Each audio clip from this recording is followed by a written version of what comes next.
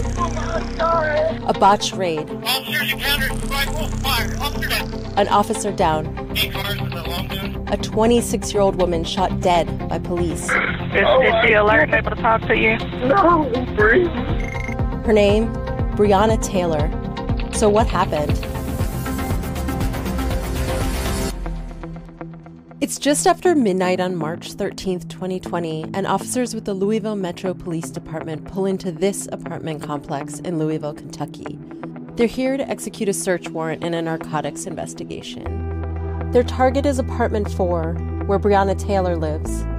She helped save lives as an emergency room technician. 2020 was going to be her year.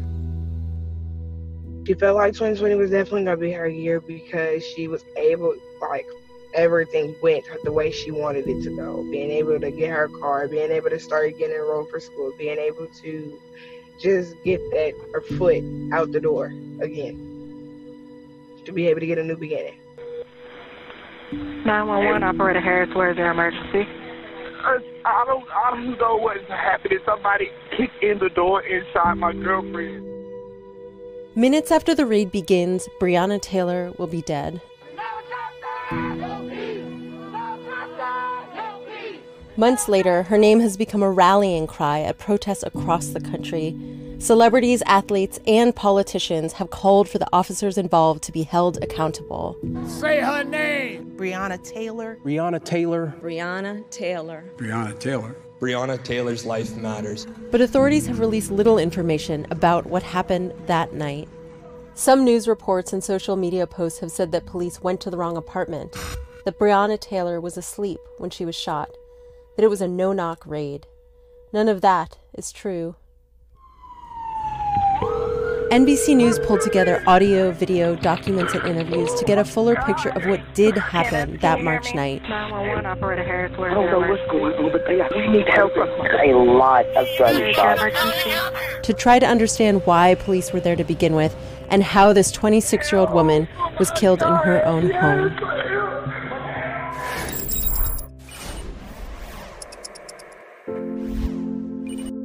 It's an ordinary night for Breonna Taylor and her boyfriend Kenneth Walker.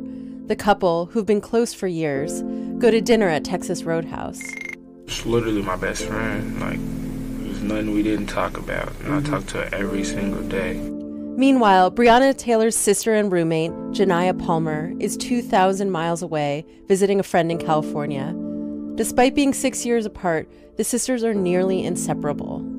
We basically did everything together. We would go grocery shopping, go hang out with her friends together. Um, anytime she left the house, I pretty much went with her. I was her shadow.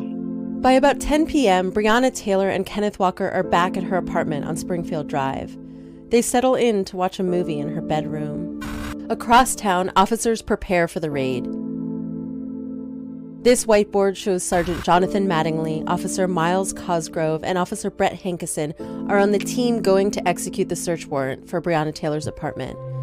All three officers would end up firing their weapons that night. This warrant and internal documents indicate police had evidence that the target of their investigation, a man Breonna Taylor had dated, received mail at her house and had listed her address as his own. This is Sergeant Amanda Seelye of the Louisville Metro Police Department's Public Integrity Unit. Today's date is Wednesday, March 25th, 2020. This will be a recorded statement from Sergeant John Mattingly. She held, possibly held dope for him, received the packages, and held his money. Police did obtain a no knock warrant for Taylor's apartment, which has been widely reported. But Sergeant Mattingly says police concluded it was a soft target, so they would instead knock and announce themselves.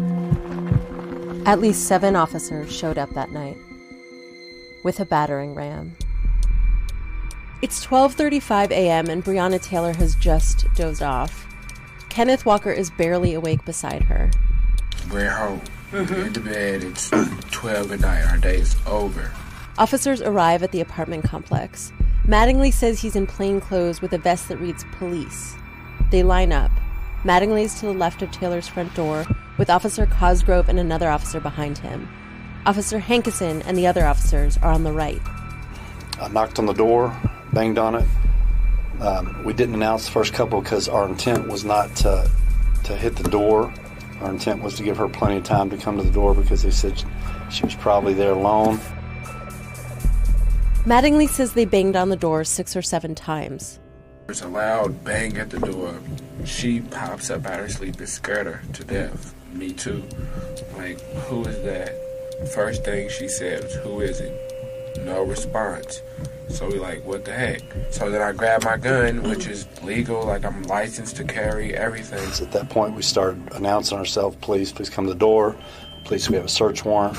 Here, accounts diverge. Walker says they ask who it is and hear no response. Mattingly says the officers repeatedly announce police. A minute after the first knock, police make the call to hit the door with a battering ram. So I looked at Mike and said, go ahead. Um, so he hits the first time and it hits right on the door handle and didn't, didn't move the door. And every time he hits, people are announcing, please search warrant, please search warrant. Mattingly says it takes three hits before the door flies open. The like the door like comes like off the hinges. So I just let off one shot. Like I still can't see who it is or anything. Mattingly describes what he saw as he entered the apartment. I'm face on about probably 20 feet away, right down the hallway. There's a bedroom door on the right, and there's a the male and a female. The male's closest to the door, so he's to my right. And as I turn the, the doorway, he's in a stretched out position with his hands with a gun. And as soon as I clear, he fires. Boom. Again, accounts diverge. Walker says the door is open and he can't see who's breaking into the apartment when he fires the shot. Sergeant Mattingly says he enters the apartment and can see Walker when he's hit. Walker's one shot hits Mattingly in the thigh, according to Mattingly. As soon as he fired, I fired back. Boom, boom, boom, boom. Mattingly exits the apartment, then shoots again. And then reached around, and I think I got two more off around the corner of the door. At 1242, 911 operators start receiving calls from neighbors who don't seem to realize that police are on scene. 911 operator guide, where is your emergency? Please get a, um, a, a police out here. They are shooting back. Okay, how many shots Please. did you hear? Man, they just shot about seven or eight times. They right here in front of my house. And I got my grandbaby and my kids in here.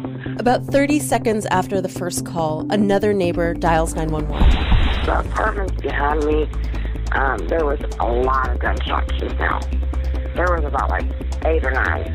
I mean, it just came out of nowhere. And it almost sounded like somebody was shooting back, but I'm not for sure. A minute into that call, at 1244, the neighbor says she hears more shots. Did it sound like it was coming from right in your area? They're still shooting. Still shooting? Come on. Come on. Yeah, I need to get over here. They're shooting out like crazy. Wounded, Mattingly says he staggers to the curb. Then he hears his fellow officers shooting. I could hear all of a sudden boom, boom, boom, boom, boom, boom. Several shots at that point, it seemed like then. It was a lot of shots. Three holes like in her leg, then on the wall, like right behind where she was, there was like like four holes on the wall. Breonna Taylor's death certificate shows she was shot five times, but we don't know whose bullets hit her. Mattingly says he fires six shots from in and around her doorway. Police say Cosgrove fires, we don't know how many times. Hankison fires at least 10 rounds through this patio door and window, according to police. Some of those go through Breonna Taylor's dining room wall into the next apartment where a pregnant woman lives. There's bullet holes all the way through the wall, through our glass. The cops are out there yelling to get back in the house. I have a five-year-old in here, so something needs to be explained to me. An officer calls for paramedics for Sergeant Mattingly, but the response is delayed. EMS, EMS is around the corner right now. We need EMS fucking up here now. All the way down the street. Tell them to get up here. Meanwhile, police prepare for a standoff with Kenneth Walker, who they appear to think has a rifle. Radio, we need someone up here now. Radio, barricaded weapon, long rifle. That looks like look at the yard. Eight cars with the long guns. Inside the apartment, Kenneth Walker says he was confused. What really made me not realize it was the police either because nobody was like rushing in after all of this happened. They all like stayed outside, so I'm like, what the heck was that? Walker calls his mother, who tells him to call 911. Okay, how old is your girlfriend? She's she's 26. Bring it. Oh You said 26. Where was she shot at? I don't know. She's on the grill right now. I don't know. I don't know. Okay. But You said she's 26. Is she alert and able to talk to you? uh, no, she's not. Breathe. Help! Oh my God! Yes, help! Police start calling for Walker to come out. They keep yelling, come out. So I'm like, okay, it's the police. An EMS dispatcher radios to see if anyone has responded to Walker's 911 call. Is there anybody on this channel that's out at 3003 Springfield number 4 with that other female that's been shot, 26-year-old female? It's unclear if anyone responds. By this time, neighbors are filming dozens of officers arriving at the complex. Kenneth Walker backs out of the apartment. Officers have their weapons drawn. At 1 a.m., about 20 minutes after police arrive, they lead Walker away. We were in the bed. We were scared. No, we didn't know who it was. It's not clear from EMS records when paramedics reached Breonna Taylor. Six days later, Kenneth Walker is charged with attempted murder of a police officer. After a national outcry, the charges are dropped. None of the officers there that night has been criminally charged. Sergeant Mattingly and Officer Cosgrove are on administrative reassignment, as is the officer who secured the warrant.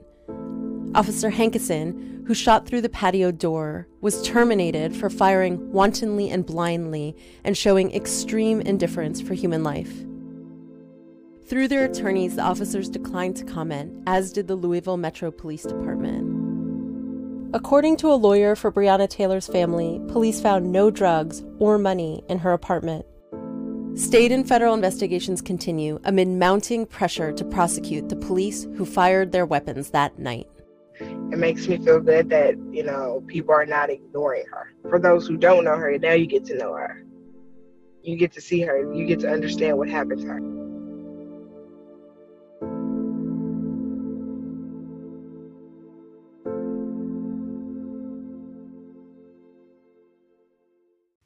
Hey, NBC News viewers, thanks for checking out our YouTube channel. Subscribe by clicking on that button down here and click on any of the videos over here to watch the latest interviews, show highlights, and digital exclusives. Thanks for watching.